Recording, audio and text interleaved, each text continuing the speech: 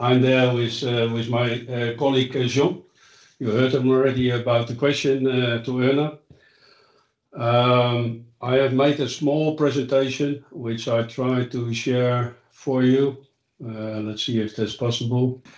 Well, it's a small presentation, and it gives a little bit of overview what we are doing. Um, the main about it is that we have developed together with Seoul Semiconductor and sunlight chip Eh, that has costed us eh, over eight years to develop it.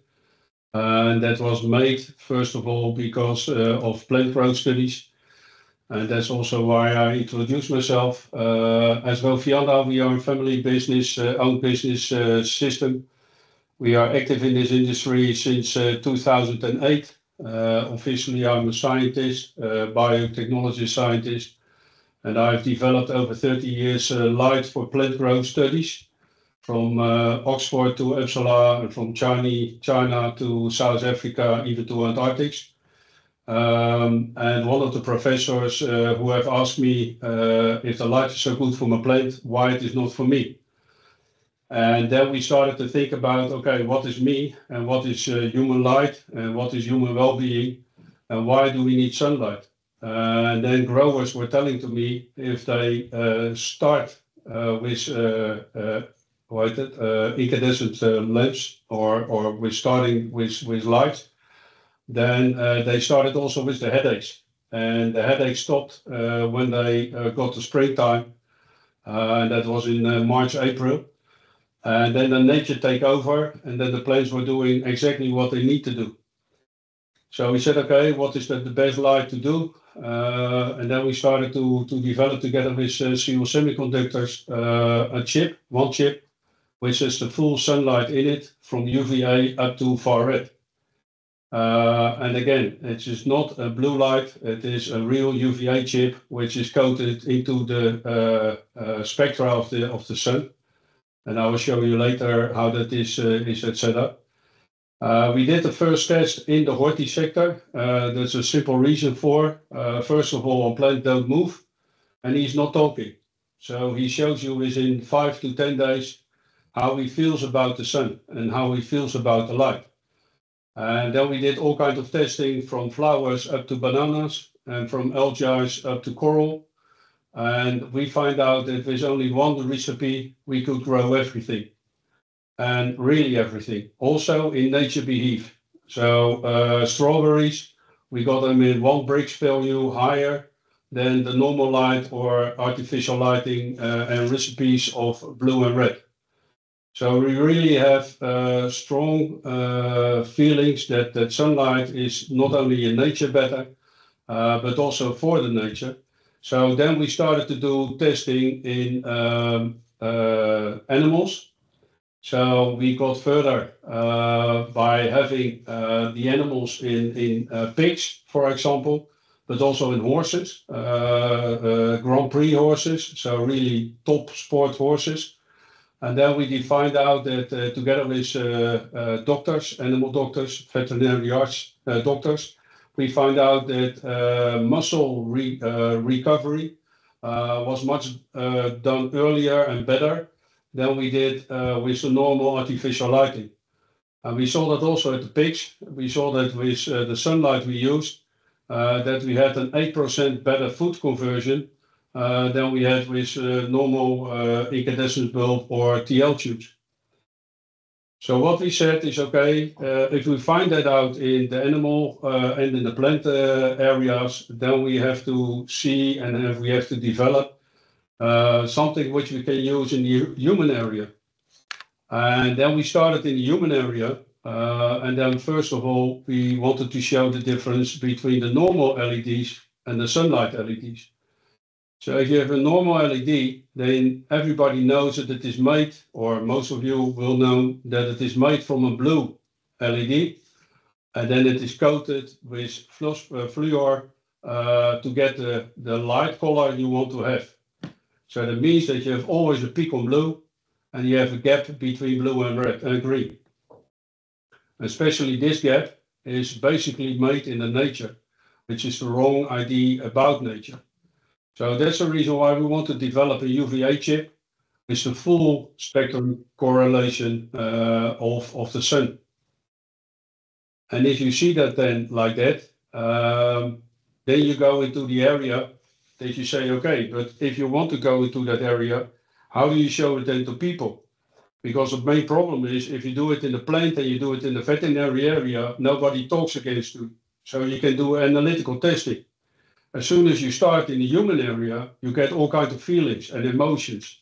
And uh, how do you feel and what do you feel about light? And what is the emotion behind light? And I was also telling about it. And for that point, we started in dementia and Alzheimer's because these people are not directly reacting on the light, but show on the way of behavior of the people how they react on the light. So we started in that area, and then we find out that these people we could get back into the biorhythm of the circadian lighting circle. So that we said, "Okay, during the day you are active, during the night you sleep." And then even we find out that we could yes, use less uh, medicines uh, to go to sleep, and that we have also less activation of nurses during the evening or during the night. Then we started to do the same test people who are running five uh, shift uh, uh, systems in a 24/7 control room. And there we didn't do that with coloring changing, so the real circadian lighting, but we did it by control the light, the amount of light, but full daylight, full sunlight, but on 5,200 Kelvin rate. And then even in the night shift from 11:00 A.M. to 5:00 A.M., P.M., or P.M., A.M., sorry. So also there we find out that these people will have no block or no distortion of their biorhythm. So they get brought the children to school, they don't have any problem with eating or sleeping or whatever. So and then we got in contact with Jan, and Jan was asking me, "Ronald, uh, why don't you uh, come to the Good Light Group? Because with this kind of knowledge, we can help each other." And that's exactly what we wanted to do. It is not that as a manufacturer and developing of lighting system that we want to promote our lighting. It's okay if you want to have more information about it, but what we want to do is we want to share information with each other and to learn from each other because quite a lot of, uh, with all kinds of uh, respect, cowboys, and gladly enough, one has left uh, this organization. Uh, but quite a lot of these kinds of cowboys are ruining the world of good light. And we think that everybody has the right to get good light. So we make it also affordable. So we are now in discussion, and we have already done quite a lot of uh, project in healthcare, but also in offices, um, also in in uh, hospitals, um, and also in the chemical control rooms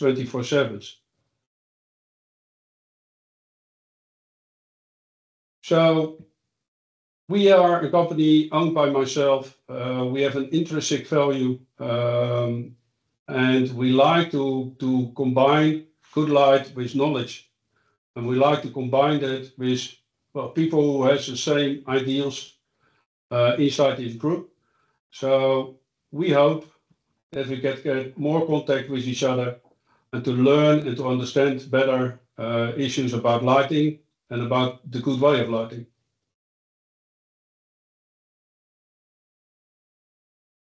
That's it. Okay. Thank you, Ronald. Interesting presentation. Uh, and I've also visited your showroom, uh, where you basically have two, um, uh, uh, if I remember well, a real window, um, ceiling window and an artificial one. Yeah. You can hardly um, tell the difference between those two. That's great. Yeah. Are there questions for Ronald? Marijke, please. Yes. Thank you very much. Thank you for the presentation. And uh, I like your incentive uh, a lot, and I like the spectral characteristics of your LED a lot. Um, but I didn't understand quite well what you what you tested with the night shift. Um, Can you can you explain me what you did and and how you evaluated the effects? For the night shift? Yeah, I think you mentioned uh, shift work. Yeah, yeah. Well, what we did is uh, the the main problem in the 24/7 uh, control rooms is keeping the people, especially in the night shift, so in the 11 P.M. to 5 A.M. in the morning, six hours, to keep them uh, concentrated uh, without the disruption of uh, day and night rhythm. Because normally this is a five-shift system, and that means that you are two days to maximum three days, you have this night shift, and then you continue to the middle shift or, well, another type of shift. And with normal lighting, people were falling asleep, or people were not activated, or people get disruption Uh, from going to home, uh, and then uh, went to sleep or didn't have any appetite, et cetera. So our feeling was to do a test, and we simply did some interviews with the people who are working inside this area, not by us, but by the human resource manager of that companies. And then we simply asked questions, and not question about what do you think about the light? No, but how you went to to to home? Uh, what did you do with your children? If you are wearing lenses, did you get dry eyes, or did you have headaches? But uh, uh, but but but what you did with the light was you increased the light with your LED. Okay. You took a daylight scheme for the night, or?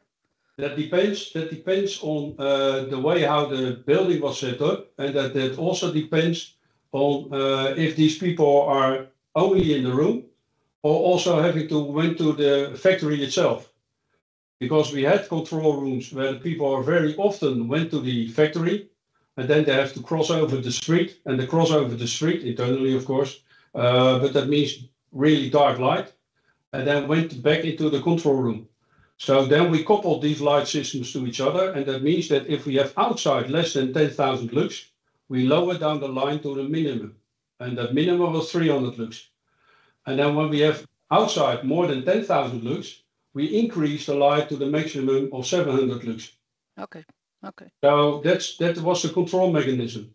Okay. Uh, Interesting. So maybe good to mention that as the the science advisors of the Good Light Group are also trying to make recommendations for night workers, which is still very difficult, what you need to do, and there's also not one common recommendation possible because it depends a lot on the type of shift work, the people, the the kind of work they do.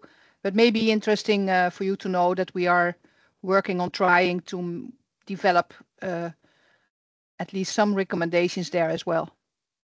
Well, that's good to hear, Marijke, because uh, we have done this now at FrieslandCampina, at Camelot, at Camira, at Alchemy, well, quite a lot of these kind of companies. Okay. Thank you. Okay. May, wonderful. Thank you, Marijke. I saw also uh, Kevin, yeah, raise his hand. Yep. Um, I've just got a question about the spectrum you showed.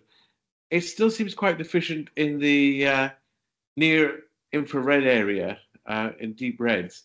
And I'm just wondering what your thoughts were regarding being able to extend that, given the discussions that are around at the moment about how useful that is for uh, mitochondrial growth and energetic uh, effects. Yeah, well, to be honest, Kevin, I don't have an answer to that directly. Um, we did it, uh, the far red, we we increased it or we included because of the plant. The plant has an a red far red ratio issue, or getting strength, and grow up. And that far red ratio runs up to 735 nanometers, and that is measured against the red fraction, and that is 626 nanometers. And then together with blue and green, uh, the plant can grow competitive competitive against uh, a competitor or against its relatives. Um, and quite a lot of things we are getting from plants and the knowledge of plants, and we use it finally in human being. Um, so we think that 735 nanometers could interfere with activity in our brains, but still we don't know, as far as I know. Okay. Okay. Yeah. Thank Okay. you. Joachim, I think you are... If there anybody else wants to ask a question, please raise your hand. Otherwise- Okay. Joachim will be the the last one because of view of. I just have Joachim. just okay. Thanks a lot. So, so thanks for your presentation. I, I was wondering in regard to sort of the uh, sort of animal test that you did, and and most particular uh, sort of horses.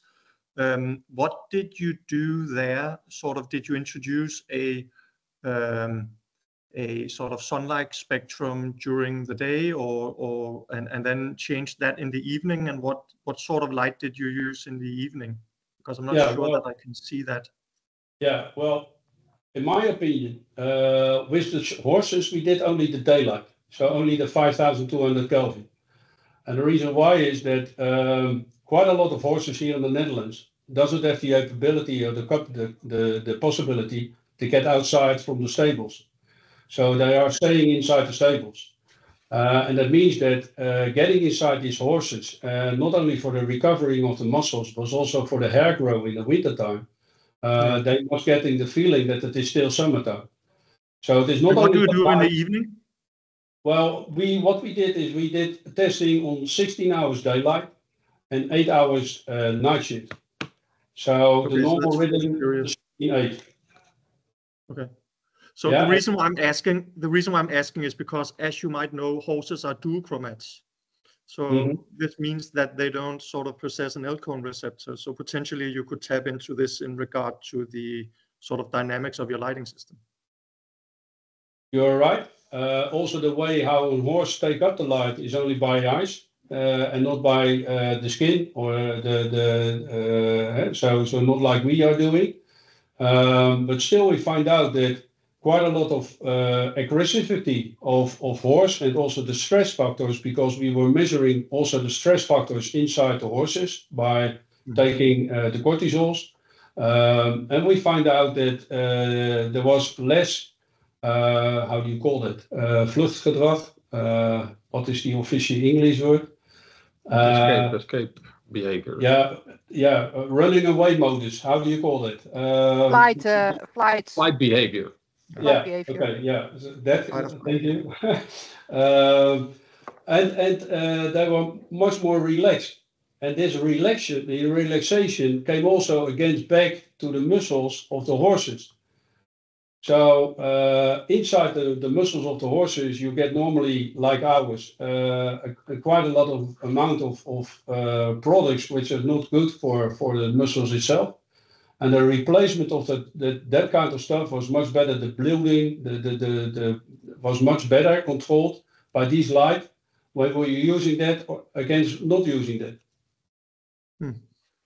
Okay. Thank you. Thank Uh, you. Thanks for the questions. Uh, Ronald, thank you very much for your interesting presentation.